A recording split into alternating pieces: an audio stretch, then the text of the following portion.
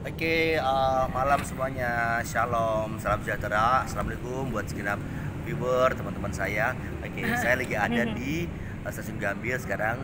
Di stasiun, stasiun Gambir ini saya tiap malam trading untuk apa ya? Um, apa ya buat nyari kucing-kucing stres saya kasih makan di sini tiap malam ya. Dan di sini saya kebetulan ketemu sama ibu ini. Ibu ini uh, ibu ini ibu Margot Ibu Marbot ini dia beliau yang ngejagain masjid, tukang sapu di tukang sapu di stasiun Gambir ini. Dan Ibu Marbot ini uh, tempat biasa saya nitip kucing.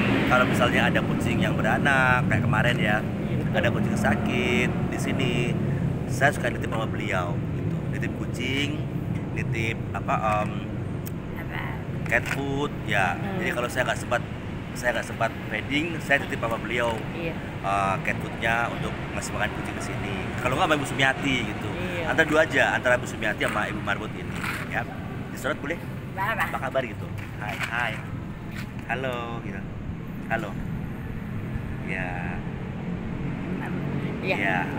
Oke, Ibu Marbot ini uh, beliau uh, tunawicara. Iya. Jadi beliau susah untuk komunikasi. Betul. Jadi uh, beliau ini kerjaannya tiap hari di sini jagain masjid dan menyapu jalanan sini.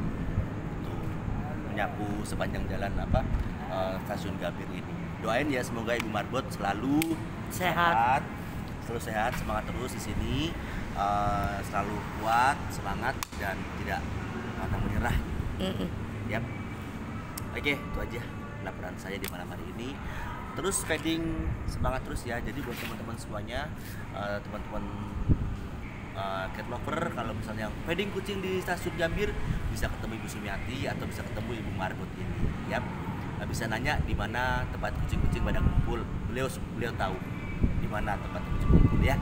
Dan kalau bisa ketemu beliau, ketemu Ibu Marbot atau Ibu Sumiati bisa diajak ngobrol, diajak mungkin diajak minum, ngopi, makan gitu ya. Oke, berbagi itu indah. Salam semuanya. Dadah, dadah. Dadah, dadah. Dadah. Nah.